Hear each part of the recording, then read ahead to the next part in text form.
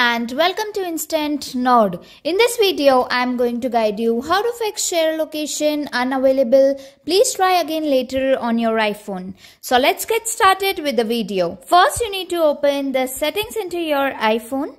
And once you open the settings, you need to go to the connections Wi-Fi connection or the internet connection that you are basically using. So I'm using the Wi-Fi connection. Make sure that you use a stable internet connection.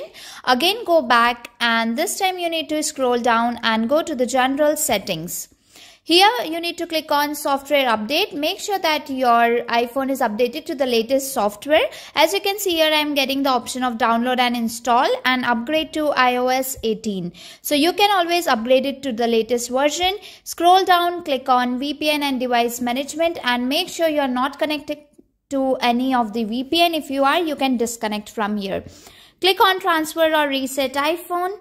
Then click on reset. Here you need to click on reset locations and privacy. One pop-up will come, you need to click on OK. And the next thing which you need to do is again go back and this time you need to go to screen time. Scroll down, go to content and privacy restrictions. Make sure that you toggle it off, you disable the content and privacy restrictions. Again go back into the settings.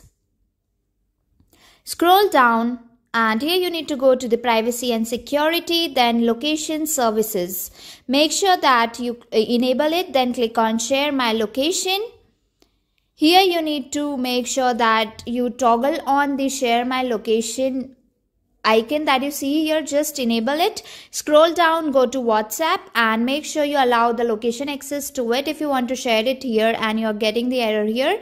You can also enable it for a particular application where you are getting this error for example the inbuilt message app whatsapp telegram etc so this is how you can fix the share location unavailable. Please try again later on iphone issue.